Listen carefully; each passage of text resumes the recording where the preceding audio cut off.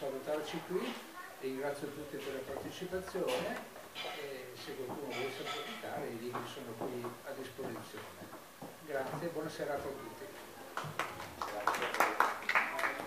Grazie Daniele, grazie Alessia e Michele per essere stati con noi questa sera. Se posso permettermi di dare un consiglio di lettura, lo consiglio caldamente perché è un libro che a parte ho durato in poco tempo e come dicevo ad Alessia nei nostri messaggi privati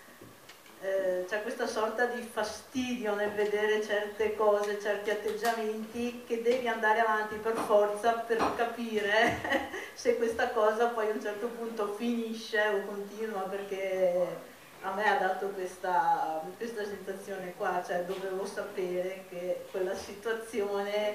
che è davvero intollerabile 2022, insomma adesso non so,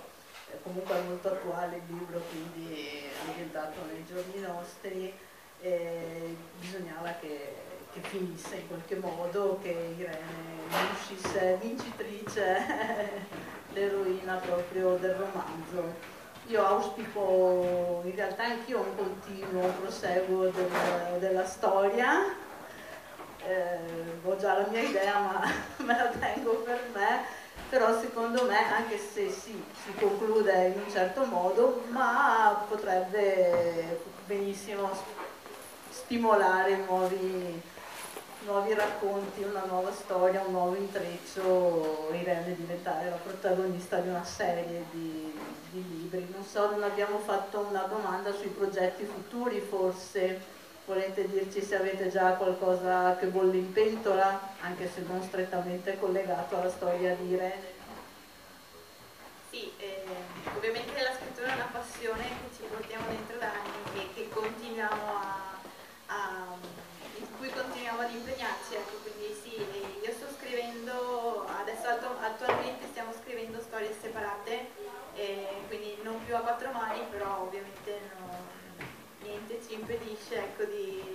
di, riprendere, di, riprendere, quando sarà il momento. Ecco, sì, io ho una storia nel cassetto diciamo, a cui sto lavorando e anche Michele, non, ovviamente non vi, non vi, svegliamo niente, però,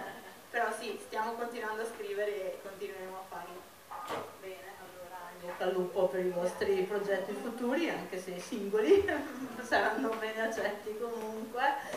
Eh, in realtà questo è il terzo libro scritto a quattro mani che presento qui al festival e la differenza clamorosa è che mentre nelle altre occasioni tutti si prodigavano nel dire questa è la parte di cui mi sono occupata io invece questa è la parte di cui si è occupato lui. E stavolta c'è stato tutto il contrario, questa commistione che infatti anch'io ho cercato di cercare tra le tracce delle pagine qualcosa che mi potesse suggerire. È stato scritto da Michele, è stato scritto da Alessia, ma non sono stata in grado di, di distinguerlo, quindi vi faccio i miei complimenti personali perché comunque per essere il primo romanzo direi che è un'opera, credo che l'editore, anche lui lo pensi come me, assolutamente riuscita. Quindi grazie ancora per essere stati con noi, grazie al pubblico presente, grazie a chi ci sta seguendo in diretta all'interno del gruppo Mestre Mia